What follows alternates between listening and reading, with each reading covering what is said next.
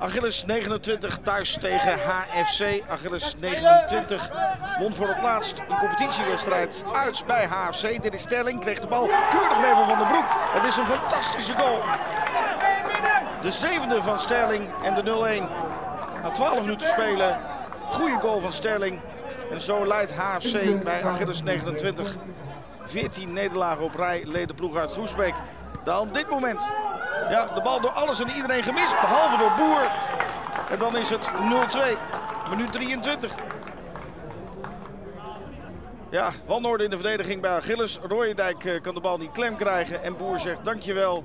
En Arno Arts is de trainer van Achilles. De oudspeler van Twente en Willem II en NEC. En zijn ploeg is eigenlijk veel te jong om in de tweede divisie te spelen. Want hier is het al 3-0. De bal gegeven door Sterling en Hols. Met zijn tweede van het seizoen. De verdediger notabene. Goed gedaan van Sterling. En Hols van dichtbij.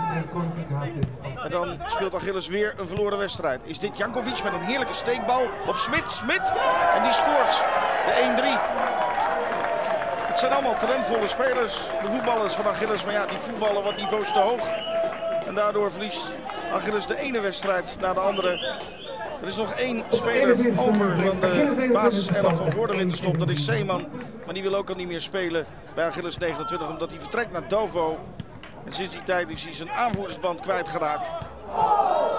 En nu speelt hij de wedstrijden gewoon in de belofte van Achilles om nog wat minuten te kunnen maken. Pech voor de ploeg van Verdonkschot.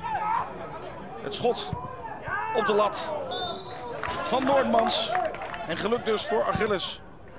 Dan zitten we inmiddels in de slotfase. Gaat HFC een belangrijke zege boeken. Is dit Tameres die de bal goed opvangt.